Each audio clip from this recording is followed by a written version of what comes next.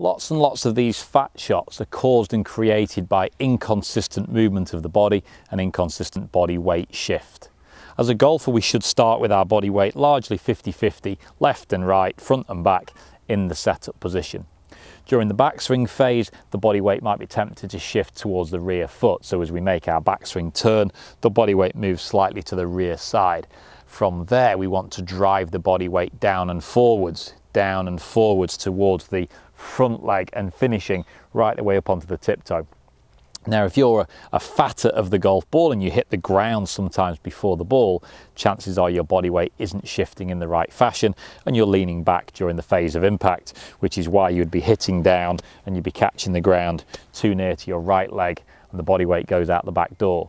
So a really interesting way of trying to change that, trying to get that body weight moving forward is just to make your golf swing a little bit more dynamic. I stress this is only a drill, something to practice on the range or the practice ground. Don't try this on the first tee. Your mates will laugh at you.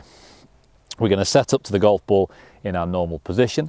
As we make a backswing, we're going to bring the feet together. So we've moved over to the right side and the feet are together. And the reason why we've moved back is so we can really now make an effort to get forwards. And we're going to step back in. So as we swing down, we step back to the front side and then drive all the way through to a big finish. And if you want to, you can drive all the way through to the big finish and take another little step as well. So we've got the good setup, the step, step and through. And once I've established that step back, step through, my body weight will never want to stay back on my rear side ever again. Because if I go this way and here and then step, there's no way I'm going to come back out of it. I'm going to make that step and follow it all the way through onto my front leg and really get driving forwards with a lot more of a dynamic motion.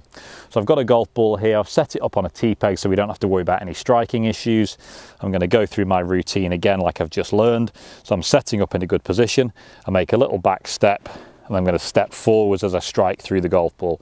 Little back step, step in and get through the ball and I can really feel I was very dynamic through that golf ball, got a lot of body weight forwards, didn't leave anything over on my rear leg. And if you practice that on the driving range, start with it just on a T-peg as I did there, and then drop it down onto the ground, those fat shots and those leaning back scoopy shots should disappear out of your game forever.